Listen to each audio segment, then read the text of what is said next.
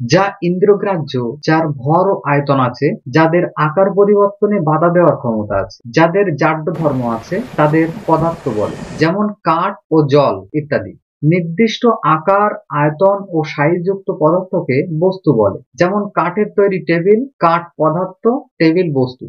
পরমাণু সম্পর্কে বিস্ময় সুপ্রাচীন কাল থেকেই। পরমাণুকে ইংরেজিতে অ্যাটম বলে ডাকা হয়। অ্যাটম শব্দটি গ্রিক শব্দ অ্যাটমস থেকে এসেছে, যার অর্থ আর ভাঙা যায় না আনডিভাইডেড মহাবিশ্বের সকল বস্তু বা পদার্থ পরমাণু দ্বারা গঠিত। যেমন সোনা, লোহা, কার্বন, সবই পরমাণু দিয়ে তৈরি। পরমাণুর আকার খুবই ক্ষুদ্র। পরমাণুকে খালি চোখে দেখা যায় না। এমনকি মাইক্রোস্কোপ দিয়ে দেখাও সম্ভব হয়ে ওঠে না। পরমাণু গোলাকার, তবে সিডি এর তলে অবস্থান করে না থ্রিডিতে অবস্থান করে। অর্থাৎ এক্স ওয়াই ও জেড অক্ষ তিনটি অক্ষ দ্বারা নির্দেশিত হয়। পরমাণুকে অ্যাংস্ট্রন এককে পরিমাপ করা হয়। এক angstrom equal to hundred picometre পরমাণু কত ক্ষুদ্র তা একটি নমুনা দিলেই পরিষ্কার হবে। সত্তর কেজি ওজন বিশিষ্ট মানব শরীর প্রায় সেভেন বিলিয়ন বিলিয়ন বিলিয়ন বা seven into ten to the power twenty seven পরমাণু দ্বারা গঠিত।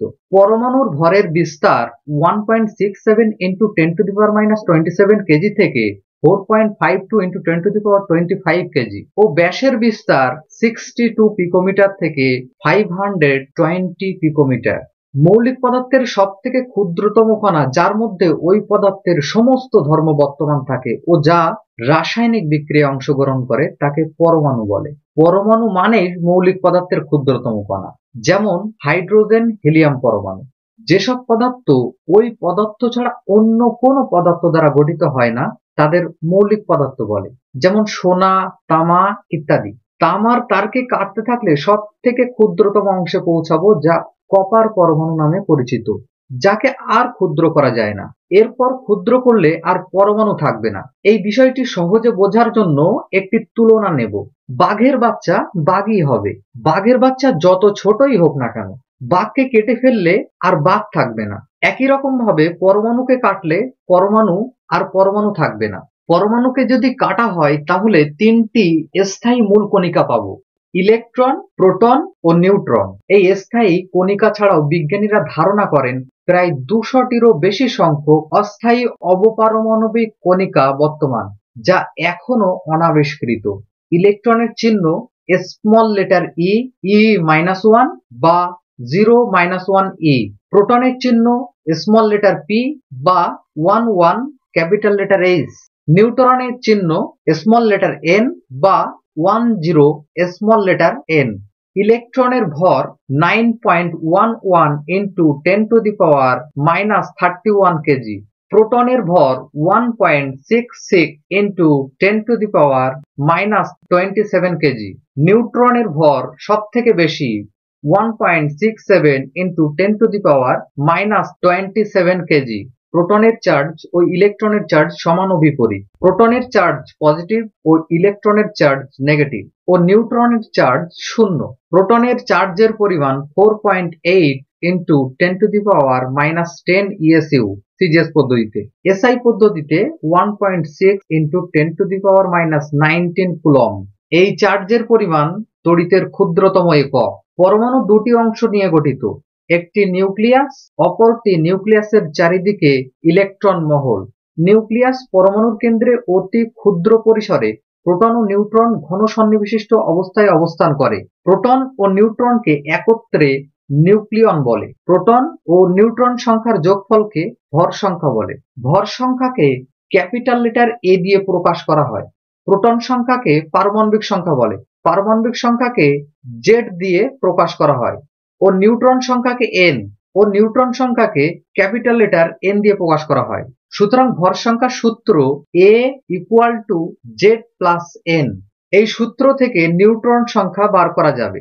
পরমাণুতে প্রোটন সংখ্যা, ইলেকট্রন সংখ্যা সর্বদা সমান এবং প্রোটন ও ইলেকট্রনের চার্জ সমান এবং বিপরীত হওয়ার জন্য পরমাণু নিস্তরিত হয়। একটি পরমাণুকে এক্স এজেড দিয়ে প্রকাশ করা হয়। যেমন কার্বনকে সি বারো ছয় হিসেবে লেখা হয়। এখানে নিউট্রন সংখ্যা ছয়। এখানে কার্বনের ছটি প্রোটন, ছটি নিউট্রন। অতএব ভর সংখ্যা সমান বারো। অক্সিজেনের প্রোটন সংখ্যা আট, নিউট্রন সংখ্যা আট। অতএব ভর সংখ্যা ষোলো। মৌলের পারমাণবিক সংখ্যাকে পরিবর্তন করলে পরমাণু অন্য পরমাণুতে পরিণত হয়।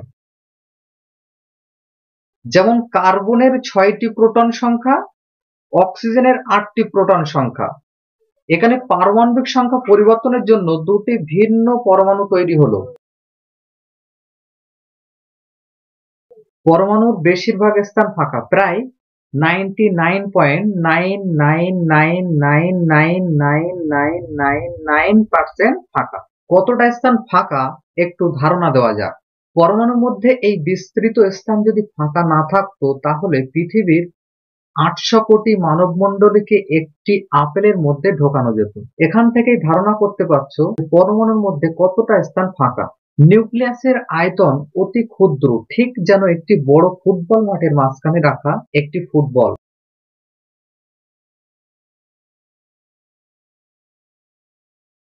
যেখানে পরমাণুর সমস্ত ভর কেন্দ্রীভূত থাকে। ইলেকট্রনগুলি নিউক্লিয়াসকে কেন্দ্র করে সাতটি স্থির শক্তির নির্দিষ্ট কক্ষপথে ঘুরে বেড়ায়। এদের বলা হয় স্থির কক্ষপথ বা স্টেশনারি অরবিট। নিউক্লিয়াস থেকে দূরত্ব অনুযায়ী এই কক্ষপথগুলি হল যখন এন ওয়ান তখন কে, যখন এন টু তখন এল, যখন এন থ্রি তখন এম। এইভাবে এন ও পি কিউ প্রতিটি কক্ষপথে সর্বাধিক কতগুলো ইলেকট্রন থাকতে পারে তা নির্দিষ্ট। এটি টু এন স্কোয়ার সূত্র দ্বারা নির্ধারিত হয়। প্রতিটি কক্ষপথের শক্তি নির্দিষ্ট। সাধারণত ইলেকট্রনের যে কক্ষপথ নিউক্লিয়াসের কাছে অবস্থিত, তার শক্তি কম এবং যে কক্ষপথ নিউক্লিয়াস থেকে দূরে অবস্থিত, তার শক্তি বেশি হয়। ইলেকট্রনগুলি একটি নির্দিষ্ট কক্ষপথে থাকাকালীন নির্দিষ্ট পরিমাণ শক্তি শোষণ বা বিকিরণ করে পরবর্তী উচ্চ শক্তি সম্পন্ন বা নিম্ন শক্তি সম্পন্ন কক্ষপথে যেতে পারে। পরমাণু সর্ববহিস্থ কক্ষপথে বা যোজ্যতা কক্ষে সর্বাধিক আটটি ইলেকট্রন থাকতে পারে। এটিকে সৌরজগতের সঙ্গে তুলনা করা যায়। এখানে সমস্ত ভর প্রায় সূর্যের মধ্যেই থাকে এবং সূর্য ও অন্যান্য গ্রহের মধ্যে বিস্তৃত স্থান ফাঁকা।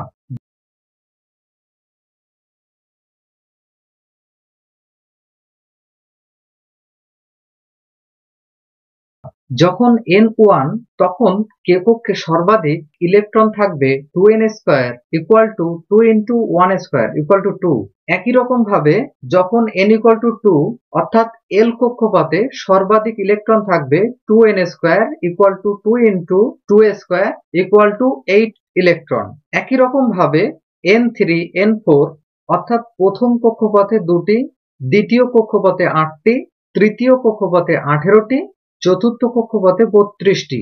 এইভাবেই চলতে থাকবে। উদাহরণ দিয়ে ইলেকট্রন বিন্যাস দেখানো হলো। যেমন, কার্বনের পারমাণবিক সংখ্যা ছয়, অর্থাৎ ইলেকট্রন সংখ্যা ছয়। কে কক্ষপথে থাকবে দুটি, এল কক্ষপথে থাকবে চারটি। অক্সিজেনের পারমাণবিক সংখ্যা আট, কে কক্ষপথে থাকবে দুটি, এল কক্ষপথে থাকবে ছটি। এই মহাবিশ্বে চার ধরনের মূল বল বা ফোর্স বিদ্যমান। তার মধ্যে পরমাণুতে তিন ধরনের ফোর্স কাজ করে। Electrical force weak nuclear force strong nuclear force পরমাণুর নিউক্লিয়াসে থাকা পজিটিভ চার্জ বিশিষ্ট প্রোটন ও বিভিন্ন কক্ষপথে ঘুরে বেড়ানো নেগেটিভ চার্জ বিশিষ্ট ইলেকট্রনের মধ্যে ইলেকট্রিক ফোর্স কাজ করে। এই ইলেকট্রিক্যাল ফোর্স ইলেকট্রনকে অভিকেন্দ্র বল প্রদান করে।